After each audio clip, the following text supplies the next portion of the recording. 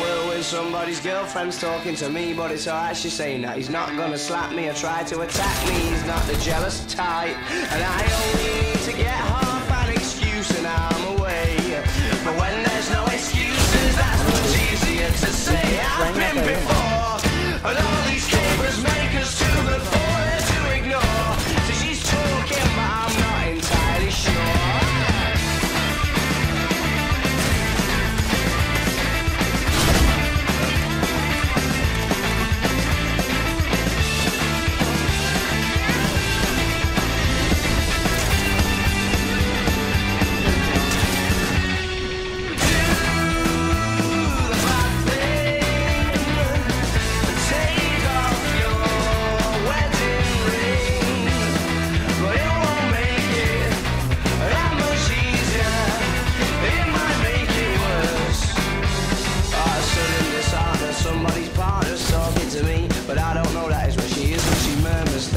confirmed the tragedy